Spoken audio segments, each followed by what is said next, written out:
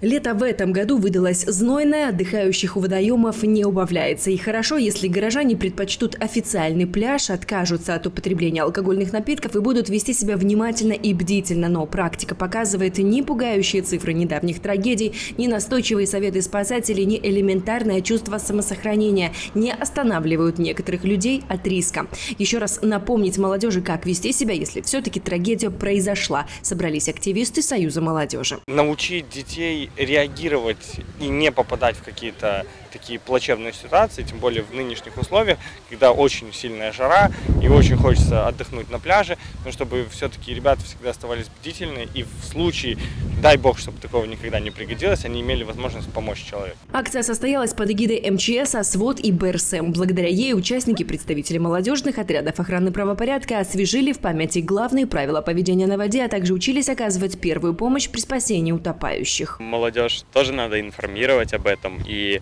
знать, э, когда, ну, как надо проводить э, вообще время с водой и не лезть в воду, если вообще не умеешь плавать. Ну, важно, наверное, нести ответственность и за себя, и за окружающих, правильно? Да, надо нести за себя и за окружающих. Если там идти с младшей сестрой или с человеком, который младше тебя, то лучше э, следить за ним и давать ему некоторое время находиться в воде, а не все время и когда он захочет. Словом, не оставлять без присмотра, верно? Да. Эти знания юношам и девушкам точно понадобятся. Впереди еще два летних месяца. Время, когда бойцы отрядов охраны правопорядка в рамках акции «Летний патруль» будут патрулировать городские пляжи. Практически каждую неделю мы с ребятами выходим на пляжи городские, э, инспектируем э, людей на состояние, да, там, э, возможно, алкогольного опьянения, то есть совместно с УВД э, профилактируем вот эти вот несчастные случаи и инспектируем пляжи, которые непригодны для,